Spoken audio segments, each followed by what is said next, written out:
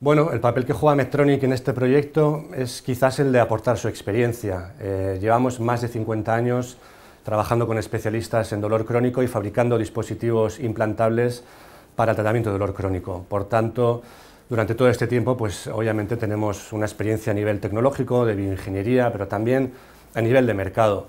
Eh, este proyecto, si, va adelante y efectivamente el estudio es positivo, pues Medtronic también podría extender eh, el mismo y, obviamente el dispositivo y el sistema a mercados en los que tenemos cierta presencia, tanto a nivel nacional como a nivel internacional. Este proyecto es muy interesante para Medtronic y no solo para Medtronic, también obviamente para todos los pacientes que sufren dolor crónico y los especialistas que tratan el dolor crónico, por un motivo muy particular.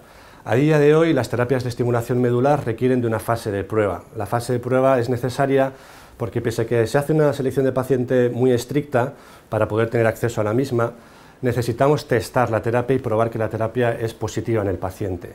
Esto es debido a que la terapia es relativamente costosa y tenemos que estar lo más seguros posibles de que ese paciente responderá a la terapia de estimulación medular.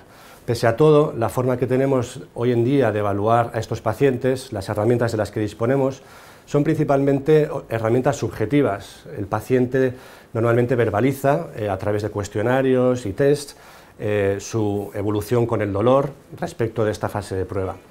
Este dispositivo nos permitiría, por tanto, eh, tener una medida objetiva y el paciente en este caso no solamente verbalizaría, sino que tendríamos esta, esta medida objetiva a través del dispositivo que nos permitiría eliminar esos falsos positivos, por así decir.